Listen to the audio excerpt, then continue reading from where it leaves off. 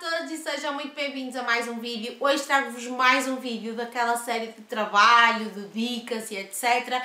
E como vos tinha prometido no último vídeo, hoje trago-vos aquelas perguntas que eu considero que são mais frequentes surgir numa entrevista de trabalho e quais as perguntas é que vocês devem fazer caso não seja esclarecido durante a entrevista ou até mesmo na chamada após a entrevista.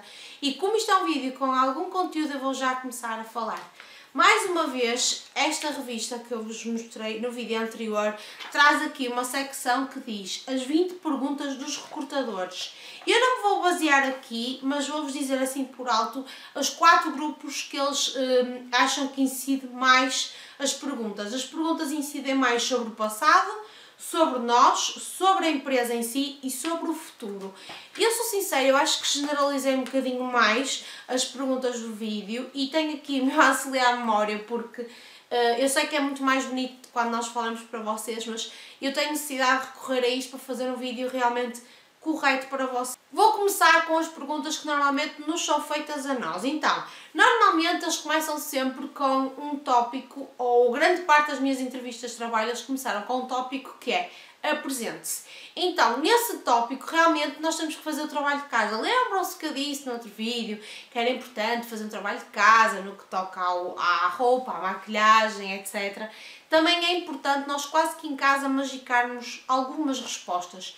E quando eles dizem apresente-se, é uma das coisas que eu acho que é mais fundamental. É a pergunta que eu acho que nós devemos investir tudo. Mas quando digo investir tudo, não é pôr tudo na pergunta, é dar o nosso melhor. É ter aquele pequeno texto que nos apresente. O outro ponto que eles normalmente costumam perguntar e que me deixa com o coração nas mãos, confesso que é algo que eu fico mesmo muito atrapalhada, é quando eles dizem diga-me três qualidades e três defeitos seus. Eu, ora balas! Então, um segredo que eu vos dou é que nós, nós temos, todos nós temos qualidades e defeitos, mas na entrevista devemos pensar muito bem que qualidades e que defeitos é que devemos de dizer. E por isso é que eu digo-vos, façam o trabalho de casa. Pensem em três qualidades e três defeitos que realmente têm, mas que tirem partido disso para aquele local de trabalho. Ou seja, eu tenho algumas qualidades, mas provavelmente vou dizer sou sociável, sou simpática, pronto, whatever, isso são vocês que têm a pensar. Simpática para mostrar que vocês realmente atendem as pessoas com um sorriso, que realmente são acessíveis. O sociável para mostrar que vocês dão-se bem com qualquer pessoa que, que à partida que e depois, por exemplo, uma das coisas que eu digo muito uh, na entrevista é que tenho ou consigo ter um à vontade com a pessoa, que isso também é uma qualidade minha, porque vocês muitas vezes vão interagir com clientes que não conhecem lá nenhum. O facto de vocês terem algum à vontade para chegar até o cliente e conversar com ele é uma qualidade vossa, mas que uh, é benéfica para o trabalho. Percebem onde eu quero chegar? E os defeitos é a mesma coisa. Nunca digam, por exemplo, numa entrevista de trabalho, ah, uh, o meu pior defeito é que tenho mau feitio. Não!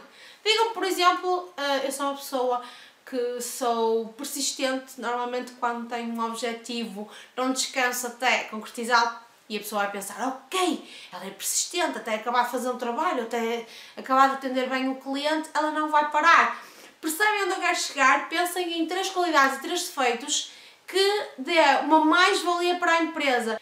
Outra pergunta que eu acho que realmente também é muito interessante e que é outro momento em que vocês podem brilhar bastante é quando vos perguntam por que gostaria de trabalhar aqui.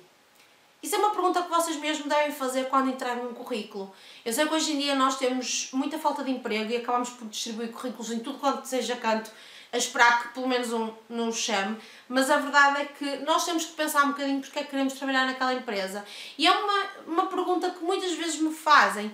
Eu tive uma entrevista para uma orivesaria e eu lembro perfeitamente que ela fez-me esta pergunta e eu disse assim: uh, qualquer mulher gosta de trabalhar na orivesaria porque qualquer mulher que gosta de utilizar bijuteria uh, gosta também de indicar aos clientes, de a vender, de a mostrar, de a cuidar. Portanto, o que eu quis dizer é que é uma coisa que faz parte da mulher. Portanto, claro que nós iríamos gostar de trabalhar ali. Percebem o que eu quero dizer? Tentem sempre. Hum, claro que é assim, nós temos que parecer eh, genuínas, não é?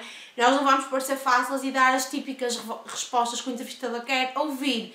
Não é isso que eu quero vos dizer. O que eu quero vos dizer é para vocês tentarem uh, dizer as mesmas coisas, mas de outra forma. Estão a perceber o que eu quero dizer? Outra pergunta que surge normalmente no seguimento da anterior é porquê que o devemos contratar assim? E é aí vocês acabam por se repetir um bocadinho, mas não há problema. Por exemplo, eu muitas vezes quando me perguntam porquê que eu devo contratar assim, uh, sou uma pessoa que, apesar de ter os meus problemas pessoais, não destaco para o trabalho, sou uma pessoa que sou sociável, uh, procuro trabalhar em equipa da melhor forma, uh, sou uma pessoa que gosta de falar com o cliente, gosto de trabalhar com o público. Percebem, gente? Tentem tirar, nem que se repita um bocadinho, não há problema nenhum. E outra coisa que também às vezes é importante aqui nestas últimas duas questões é trazer um bocado a nossa bagagem para aqui. Eu já trabalhei numa loja de chocolates e eu comparei a loja de chocolates com a orivesaria e eu disse que gostava de indicar o produto aos clientes, gostava de dizer qual é o produto que eu mais aprecio, gostava de lhes explicar um bocado como é que funciona o produto. E no fundo nós na bijuteria não podemos alargar tanto, não é? Mas podemos dizer, olha, esta peça realmente é muito minimalista, é muito simples. E se nós mostrarmos esse interesse, esse à vontade a responder, as pessoas também vão ficar a pensar, não, afinal se calhar Percebem, gente? É isso que eu quero vos alertar um bocadinho. Outra pergunta que surge, e atenção a todas as perguntas, não estou a dizer por ordem, isto depende do entrevistador, é a experiência profissional. Eu acho que é inevitável. Mais do que a experiência escolar, é a experiência uh, profissional que vos vão perguntar. E é aí que vocês têm que explicar a vossa experiência profissional, mas mais uma vez, foquem os pontos que possam interessar para essa entrevista de trabalho. Como, por exemplo, eu vos disse agora da loja de chocolates para a aniversaria tentem sempre puxar para vocês, percebem? De uma forma muito genuína, muito simples, quase que ingênua, mas tentem puxar. É normal, gente, vocês estão, entre aspas, a querer que vos comprem. Portanto, nós temos que tentar pôr marketing, publicidade em nós. Portanto, é mesmo assim que vocês devem fazer. Daí, mais uma vez, eu vos digo, façam o trabalho em casa, porque faz toda a diferença. Depois, costuma ver as três perguntas uh, básicas que a gente faz, carro, filhos, solteira. Essas são sempre. Depois vem a disponibilidade, o que é normal, perguntar se tem disponibilidade, se pode trabalhar em regime part-time, full-time. E por último, uma pergunta que eu odeio responder, que é que salário pensa receber? Eu sinceramente não sei qual é a resposta mais correta para isso. Mas vocês tentem sempre comparar com outros trabalhos que tenham tido e, tenham, e tenham minha atenção. Nem demasiado baixo, nem demasiado alto, gente, está bem? Assim, médio. Então agora vêm as perguntas que nós deveríamos fazer na, durante a entrevista. Uh, uma das perguntas que eu costumo fazer sempre na entrevista uh, é qual é o horário, qual é o sistema das folgas e onde é que eu vou trabalhar.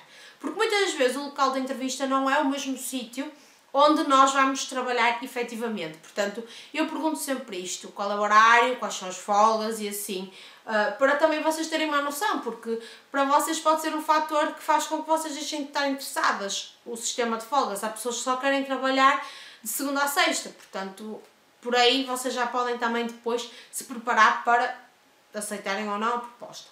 Outra das coisas que eu falo muito é o contrato, de quanto tempo é que é, uh, quando é que eu vou receber.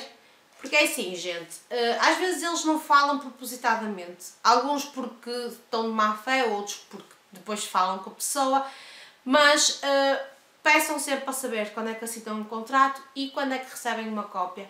O contrato é a vossa segurança. Muitas vezes, ah, depois assinam o contrato e trabalham duas semanas sem contrato, chega ao fim não têm que vos obrigar porque não há nenhuma prova em como vocês trabalharam lá. E o contrato, quando vocês o recebem, nunca assinem sem o ler. Falem do contrato, até porque uh, é importante eles perceberem que nós não somos burros nenhums, que nós não andamos aqui a nanar e que nós sabemos os nossos direitos. Uh, eu acho que as pessoas muitas vezes dizem ah, deixa lá, às vezes é melhor não falar porque depois eles podem achar que tu, que tu tens o rei na barriga. Eu acho que se toda a gente fosse um bocadinho assim, os patrões não iam brincar tanto connosco. Uh, infelizmente nós estamos numa situação de crise sim, mas também acho que não devemos nos deixar pisar. Outra pergunta que é quando dou resposta e se dão resposta? Porque muitas vezes nós estamos na esperança de, de receber uma resposta e não recebemos, e o facto de perguntarmos, estamos também a mostrar interesse no, no, no emprego. Estas perguntas eu já acho melhor fazer uh, quando a pessoa liga a dar-vos resposta, se derem resposta. que é qual será o salário? Uh, muitas vezes não dizem na, entrevista de trabalho uh, qual é o salário, que subsídios é que recebemos. Portanto, quando recebemos a chamada a dizer que sim, que fomos chamados, façam logo a pergunta. Porque vamos supor que vocês recebem uma ninharia e não estão interessados nisso. Dizem logo à pessoa, eu não quero. Porque também é muito chato para a empresa estar à espera que vocês uh, deem uma resposta positiva e depois vocês cortam as asas. Portanto, eu acho que é nessa altura que vocês dizem ah, eu não quis ser presunçosa e perguntar na entrevista de trabalho, mas será que é possível me dizer qual é que é o vencimento, quais são os subsídios que eu irei receber? Porque uh, o emprego é uma coisa muito séria. Mas realmente são perguntas que muitas vezes surgem e que se nós fizermos esse esquema em casa e, e matutarmos um bocadinho na resposta, se calhar parecemos muito mais calmos na entrevista, corre muito melhor e damos uma ideia de segurança, que é uma ideia muito importante numa entrevista de trabalho, é que somos seguros nós próprios. Portanto, eu acho que mal não faz a gente ter quase como se fosse um guia. Mas é assim, gente, cada entrevista é uma entrevista. Portanto, isto é só mesmo um guia para vocês estarem mais calmos. Um, eu sei que o vídeo já está bastante longo, mas eu quero falar só mais numa situação que me ocorreu e que eu acho que também devo incluir neste vídeo, que é as entrevistas em grupo. Uh, muitas das entrevistas são individuais, um, normalmente é o Recursos Humanos ou o Gerente de Loja connosco, mas já me surgiu uma entrevista de grupo e aí é que são elas, porque se nós estamos nervosos sozinhos, imaginem com muita gente, eu pelo menos fico mais nervosa. Então a minha, a minha entrevista consistiu em tínhamos uma folha e tínhamos um, uma lista de coisas que nós achámos importantes no trabalho. Primeiramente, eles pediram-nos para nós, de 1 a 5, escolhermos 5 coisas e numerar de mais importante até não tão importante. Uh, de 10 ou 12 coisas, tínhamos que pôr 5. Depois debatíamos um bocadinho com o grupo quais é que achamos realmente importantes para nós. De seguida, nós temos o mesmo quadro e todos em conjunto, com unanimidade, temos que preencher de 1 a 12, de 1 a 10, uh, eh, por ordem de importância, todos os aspectos uh, que nós consideramos importantes. Eu não tenho a certeza se foram todos, se tivemos que excluir alguns. Se teve que ser de 1 a 10 e alguns ficaram excluídos. Foi uma coisa assim parecida. Mas, uh, conselho, eu acho que, assim, eu acho que nessa entrevista me espalhei a comprido, sou muito sincera. mas um conselho, interajam com os outros, mas não interajam demais. Cuidado com o que dizem. Como eu disse no último vídeo, cuidado a falar das experiências anteriores. Uh, que eu acho que surgiu muito o facto de ah, mas eu priorizo isso porque no meu trabalho anterior. Nananana.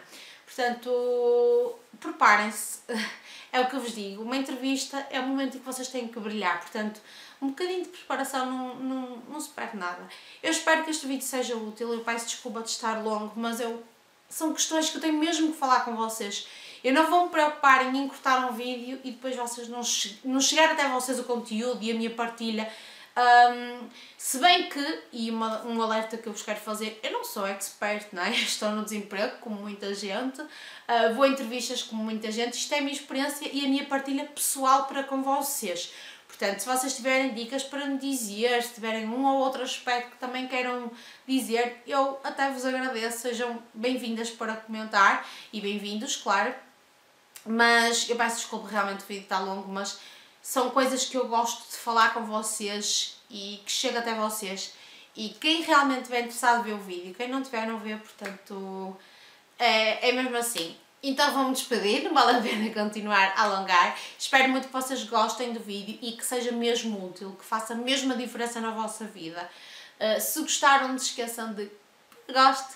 Se és novo no canal, está aqui o botãozinho, podes subscrever e ativar o sininho.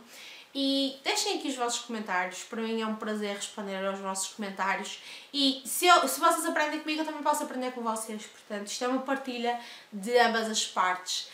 Uh, vemos no próximo vídeo. Uma grande beijaca para todos vocês.